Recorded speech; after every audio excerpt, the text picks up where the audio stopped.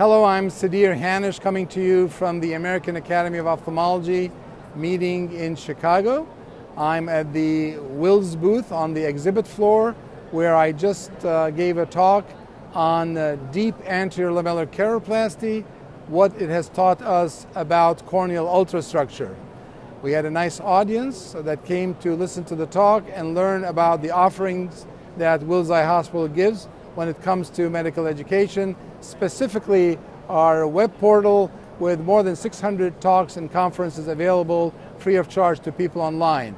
Today's talk was about the intricacies of deep anterior lamellar keratoplasty, specifically what we now know is a new structure not new in its origin, but new in, its discovery and nomenclature, i.e. Dua's layer, which is this uh, structure that's about 10 to 15 microns thick in the posterior corneal stroma that is acellular and resistant to rupture. We're calling it Dua's layer after Harminder Dua, who was also a Wills graduate from 1994 and is now the chairman of ophthalmology at Nottingham in England.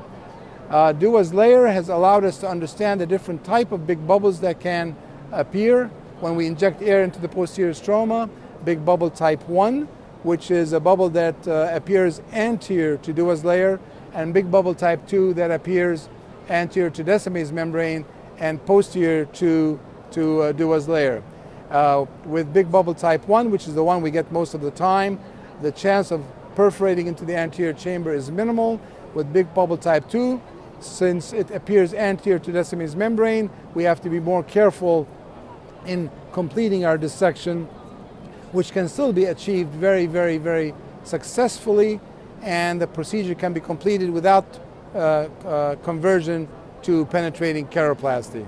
So it's an exciting time to be a cornea specialist. It's an exciting time to be at Wills and to be bringing you these exciting developments in the field of corneal surgery. Thank you.